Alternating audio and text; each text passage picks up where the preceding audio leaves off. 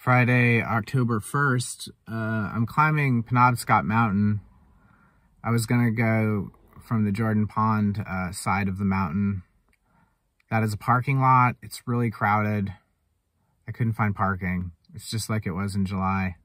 So I am at uh, what's called the Brown Mountain uh, parking area where I climb Cedar Swamp Mountain. I'm going to walk to the amphitheater trail take that up and connect with the trail that goes up the other side of Penobscot. And then I may climb Sargent. I'm not sure. But that's what I'm doing. I'll post a map of it and um, here we go. So I'll go into a little more detail later, but if you find the Brown Mountain Gatehouse, um, we're going to be going around the carriage roads up here to this bridge, the amphitheater trail.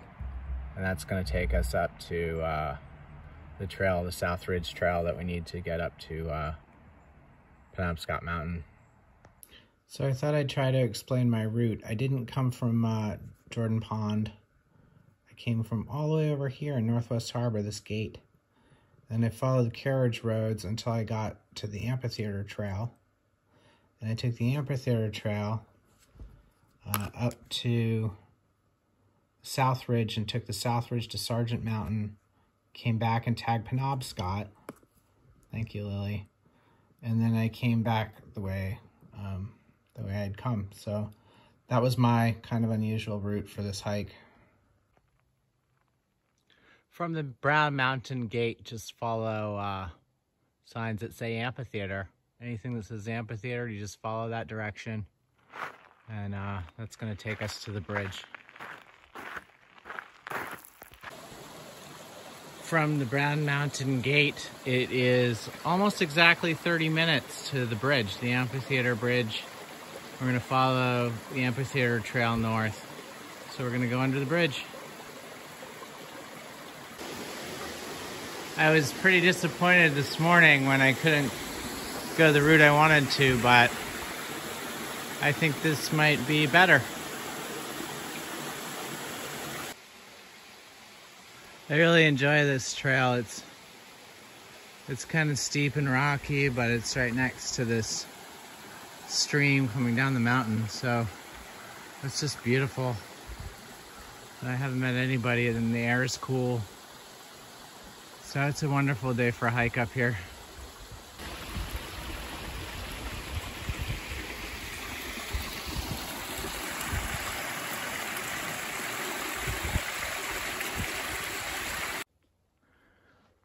So having come off the amphitheater trail, I'm now on the South Ridge Trail. Uh, there's a little intersection with a sign. It's pretty clearly marked. I didn't take a video because there were some tourists uh, trying to figure out what they were gonna do, but South Ridge Trail, onward to Penobscot. Quite a view here.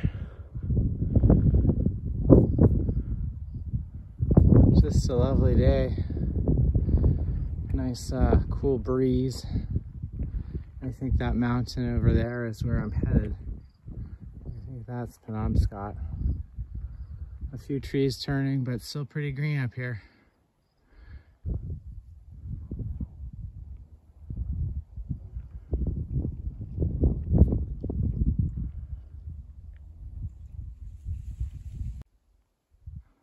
So I'm on the South Ridge Trail looking across to that peak and I can see the sign for the summit and some people. So I came to an intersection very clearly marked that said Sargent Mountain or Penobscot Mountain. So I'm going up to Peno uh, Sargent first. I'm doing Sargent Mountain now. I'm gonna come back here and then I might hop over and tag Penobscot. So that's the plan, just following the South Ridge Trail north to Sargent Mountain. This is Sargent Mountain and we're facing west. This is interesting to me because I've climbed all of those peaks. If you see this little nubble down there, I believe that's uh, Bald Peak. And that little mountain over there is Norumbega. And behind that there's Beech and I think the big peak is is Bernard and Mansell. So kind of interesting to see from up here. It looks stormy. I'm hoping that holds off. It's a nice cold wind right now, but it's just lovely up here as you can see from all of the ocean and mountains. It's just lovely. Really great to be up here. Well, it's wildly beautiful up here. Cold wind though, I put on a sweater. I have a thin wool sweater. It smells like bananas because I had bananas in my bag. Some old sad bananas, so that's okay. Northeast Harbor is down there. You can see so far today, it's, it's just wonderful. I had to turn Siri off on my phone because the wind kept setting off Siri. So Siri wanted to talk to the wind. I wonder if Siri knows what the wind is saying.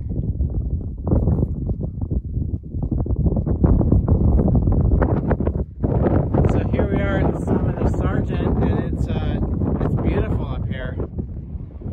I think that remember of Cadillac, I would say this view is as interesting, if not more so, as far as geography goes. It's sort of like Cadillac without the parking lots. As you can see, northeast Harbor. If you're facing south, and you can see Bar Harbor if you're facing north and east. And you can see pretty far inland, so just lovely up here. I'm going to try to get some more shots just a completely different experience than the day I had climbing Champlain last week when I get to the top and there were just crowds of people. And I get up here and there's nobody. There's just me. I wonder where everyone is. So, just a great day to be up here. Um, and some, you can see the colors are starting to come onto the trees. Little by little there are reds, but uh, still pretty green. I like looking at the ocean from here because you can see like it just goes forever once you're out there. I don't think I would like to be out in the ocean.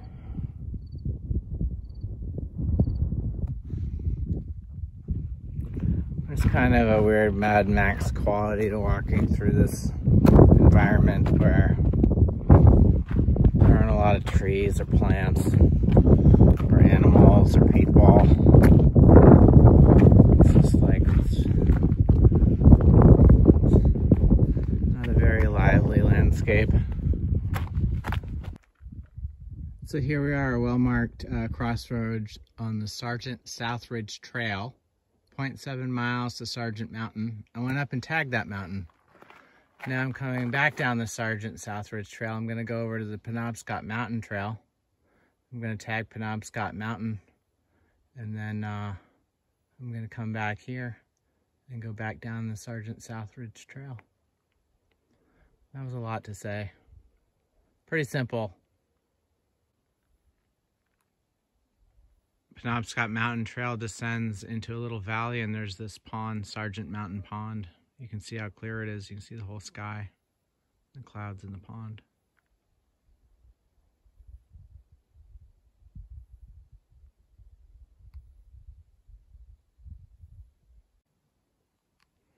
The Penobscot Mountain Trail is uh, steep in places and there are puddles. So it's a little different. I think we're gonna descend into this, uh, through this kind of crevice into a little valley and then we're gonna go up a steep uh, face. Walking among the rocks, come to a crossroads. Sargent Mountain uh, Pond and Trail where we came from. Keep going up Penobscot Mountain Trail. And then there's a sign that says to the north shore of Jordan Pond, the Deerbrook Trail. So we're not going to take that, but we could if we wanted to go to Jordan Pond. Um, but we're going to continue up this uh, Penobscot Mountain Trail. Uh, short scramble up from Sargent Pond, and here we are on the top of Penobscot Mountain. That Sargent Mountain that we just climbed over there.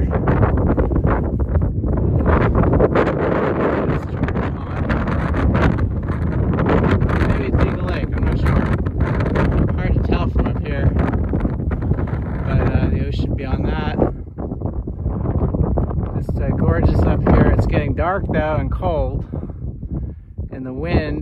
starting to pick up and a few little drizzles. So I'm not going to linger up here because the sky looks a little mad, looks a little angry.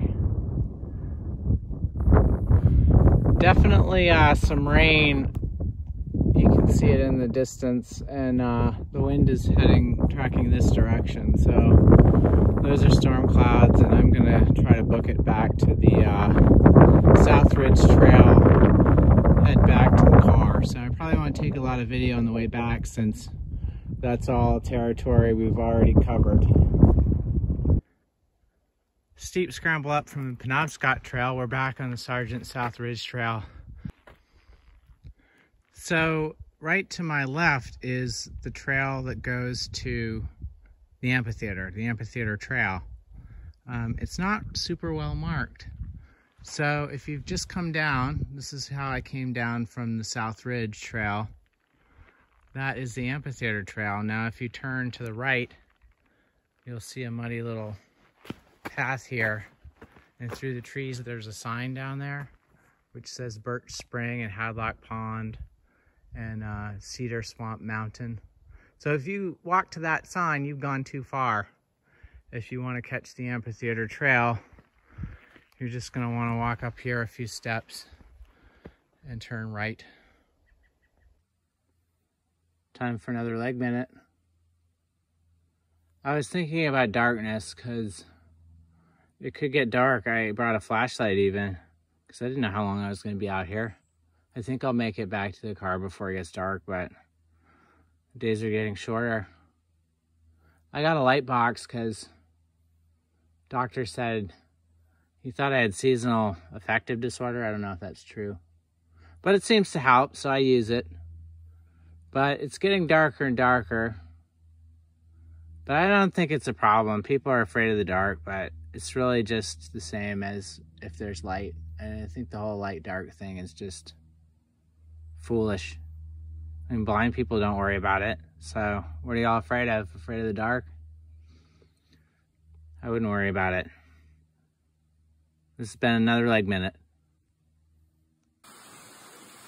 I thought this tree was really interesting because it's it's dead. It looks like a dead tree. You can see right through it. And then if you look way, way up, way, way up, way, way, way up the tree, it's still alive at the top. There's uh, there's the whole stock up there. So that's pretty interesting. It's a survivor.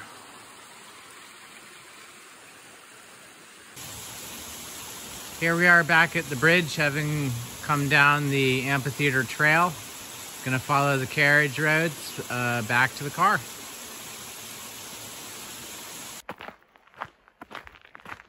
Been a very pleasant walk. Uh, I've just been listening to music and enjoying this. I hardly meet anybody every once in a while. There might be a single bicyclist, but this has been a nice quiet walk in the woods. Really a good way to end a, end a hike. It's back at the car having completed Sargent Mountain and Penobscot Mountain. Um, I like this route. I think it's totally doable if you don't mind the one hour of uh, walking the the carriage roads. You know, half hour in, half hour back. So the whole thing took me about five hours. Really reasonable, and it was easy to find the path um, up the South Ridge to Sargent, and then it's just a little hop over to Penobscot. I would like to do um, Penobscot um, from Jordan Pond from that side and do that loop someday. But uh, it was a good uh, it was a good save considering I had to change my plans. So really glad I did it. Three mountains left. We've got Cadillac and Dorr and uh. That's it. Then we'll be done. You're really not going to help, are you? You're not going to help me edit this video. You want to help, but you don't know how to help. You're chewing this pencil?